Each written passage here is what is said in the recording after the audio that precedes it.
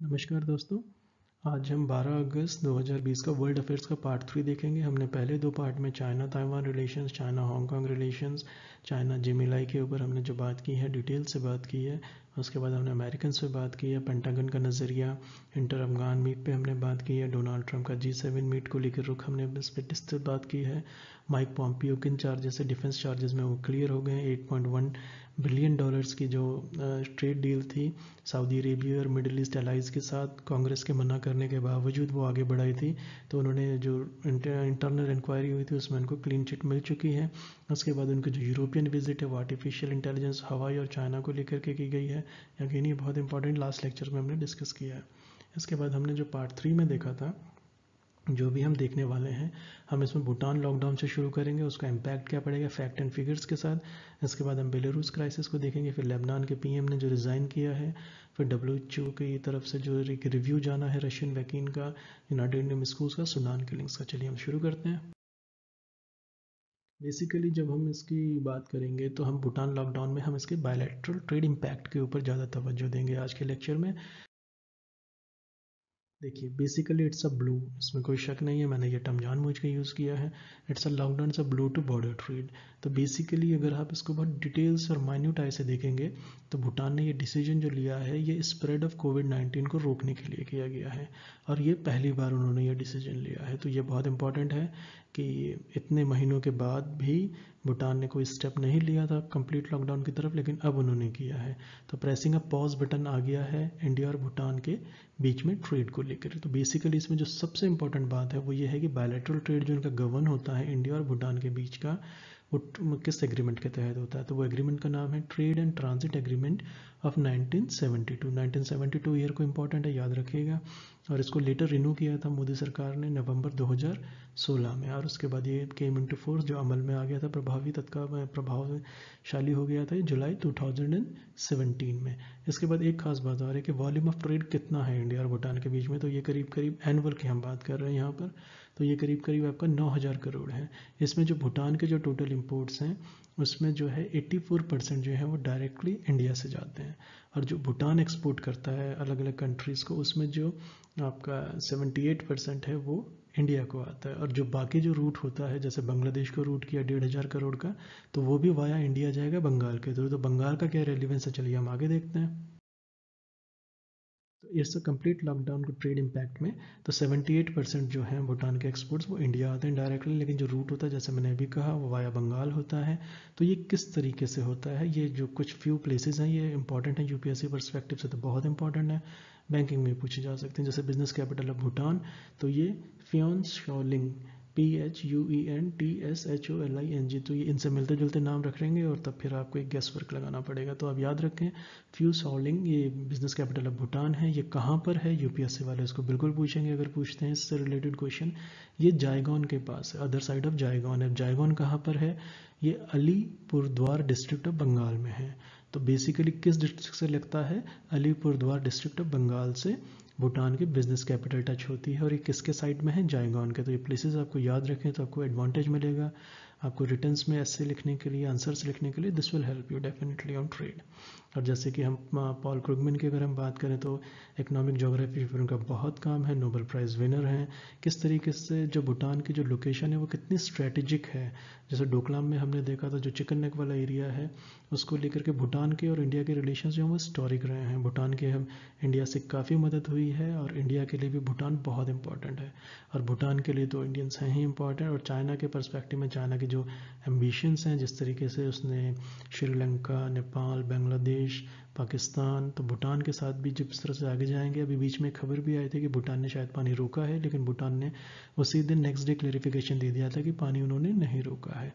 तो basically India और भूटान जो है, ये दोनों एक दूसरे को बहुत अप्रिशिएट करते हैं, एक हाई स्टीम में देखते हैं। तो ये पॉज बटन है, ज़ाहिर सी बात है, और उसमें इंडियन ऑफिशियल्स और भूटान के ऑफिशियल्स की हाई लेवल पर बात होगी कि किस तरह से इस इशू को एड्रेस किया जाए। जब भी वो इशू एड्रेस होगा, जिस भी तरह से एड्रेस होगा, मैं इस बैकड्रॉप को थोड़ा सा रिपीट करके उस तरह की डिटेल्स में आपको दे दूँगा। चलिए हम आगे देखते हैं। तो ये अदिलपुर के साथ एक चीज़ मैं और बताता चलूँ कि जलपाईगुड़ी एक जगह है, वेस्ट बंगाल में। वहाँ से भी भूटान का बॉर्डर शेयर होता है। और एक जगह और, एक स्टेट और है, असम। वहाँ से भी भूटान का बॉर्डर शेयर होता है। तो इंडिया जो है बेसिकली भूटान के लिए ट्रेड के परस्पेक्टिव में बहुत क्रूशियल है। चलिए हम इसको आगे देखते हैं। बेलारूस की हम बात करते हैं। स्वेटलाना तिखानोवस्काया जो ये हैं, इनको लुथानिया जाना पड़ा है। ज़ाहिर सी बात है कि ये नहीं चाहती थी जाना, लेकिन इन्होंने विक्ट्री क्लेम की थी प्रेसिडेंट अलेक्जेंडर के खिलाफ, लुकाशेनिको के खिलाफ। लेकिन जिस तरीके से ये गई हैं, उससे एक बेलारूस के अंदर एक नया पॉलिटिकल ट्विस्ट आया है। और किस तरीके से फॉरेन मिनिस्टर जो लिथवानिया के हैं, लिनास, लिकानी विकासियस इन्होंने कहा है कि she is arrived in Lithuania and she is safe अब ये लिथानिया क्यों गई हैं, किस तरह से गई हैं, इसके बारे में एक चीज़ और बताता चलूँ। ज़ाहिर सी बात है लिथानिया ने कोई डिटेल्स नहीं दी हैं, ना ही यूरोपियन यूनियन को ना ही नाटो में, ये नाटो मेंबर है लिथानिया तो इन्होंने कोई डिटेल अभी शेयर नहीं करी है, लेकिन बेलारूस जो है वो एक सोवियत यूनियन का पार्ट रहा है। ये अगेन इंपॉर्टेंट है, जो अर्स्टफल यूएसएसआर है, उसका एक पार्ट है बेलारूस और हिस्ट्री है लिथुआनिया की, जो ये रिफ्यूज़ की तरह बेलारूसियन और रशियन अपोजिशन फिगर्स को एक लिथुआनिया जो है, ये हमेशा शरण देता आया है।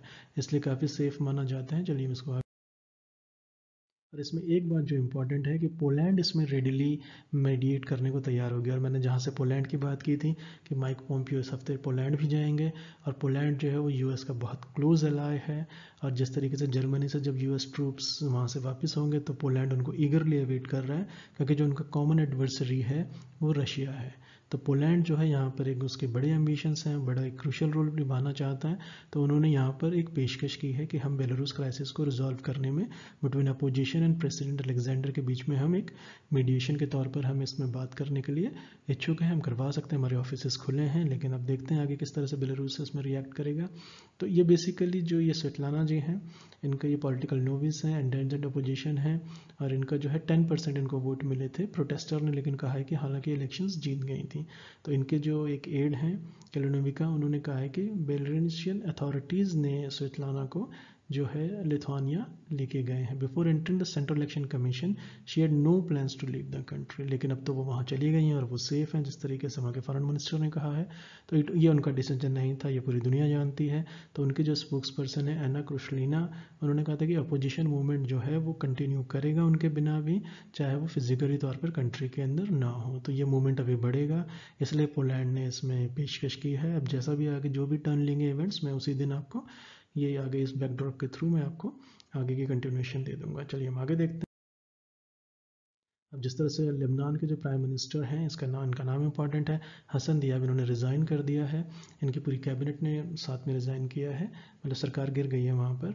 और बेसिकली इन्होंने रिज़ाइन करके हटाया है इनको। तो इन्होंने जो एंडेमिक जो ग्राफ्ट एक्सप्लेनेशन हुआ था बेरूट के अंदर तो उसको लेकर के एक डीप फाइनेंशियल क्राइसिस में पहले ही थी जिसमें लेबनान तो अभी और डीपर हो गया। आई आईएमएफ के साथ एक स्टॉल आ गया इनका।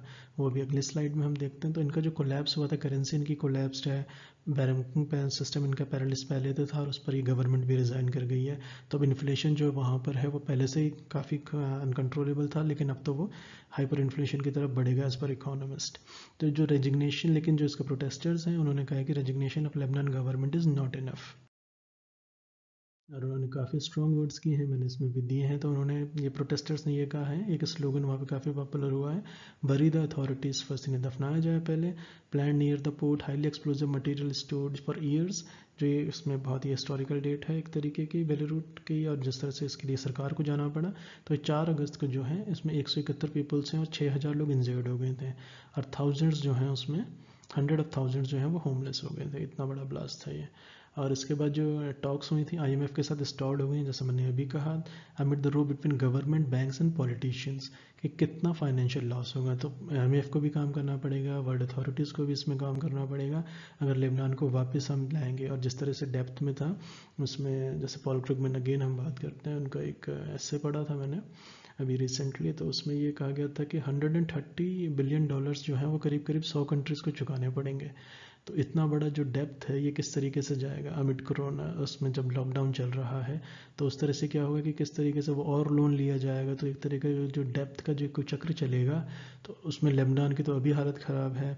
यूरोपियन यूनियन की आप देख चुके हैं ग्रीस आयरलैंड आइसलैंड सारी कंट्रीज़ में तो ये किस तरीके से फ्यूचर जो टर्बॉयल लेगा पूरे वर्ल्ड ओवर तो वो बहुत ही चिंताजनक है, लेकिन जैसा भी होगा हम उसको बिल्कुल डिस्कस करेंगे। चलिए जिस तरीके से समय निकल रहा है।